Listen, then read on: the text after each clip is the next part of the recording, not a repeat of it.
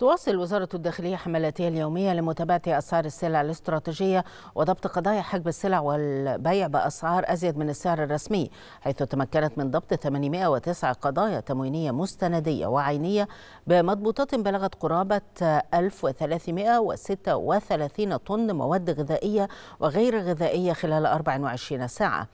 وفي مجالي حجب السلع الاستراتيجية والاستيلاء على السلع المدعومة تم ضبط أكثر من 202 طن. وفي مجال حجب أرز الشعير والأبيض وعدم توريد أرز الشعير والبيع بأزيد من السعر الرسمي للأرز الأبيض تم ضبط قرابة 1113 طن. وفي مجال عدم الإعلان عن الأسعار بقصد البيع بأزيد من السعر الرسمي للسلع الغذائية وغير الغذائية تم ضبط قرابة 21 طن.